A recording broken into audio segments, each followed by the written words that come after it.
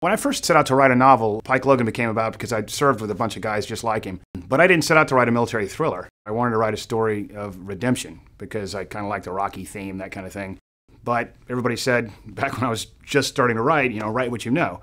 And uh, I happened to be a special forces officer, so Pike became a counterterrorist commando. My military background really infuses writing, obviously. The war just continually advances, and I'm trying to stay on top of that eight ball, doing the research over and over again, both from the strategic level down to the tactical level. We had counterinsurgency for the last 10 years. Now it's great power competition. We've got hybrid warfare with Crimea and Russia. China's doing cyber. So I most definitely have to do an enormous amount of research for each novel. When I'm picking the settings for the novel, sometimes I've already generated uh, the threat vector, and so that's going to drive me to go there. Other times, it's uh, because, I'll be perfectly honest, my wife wanted to go to a certain country.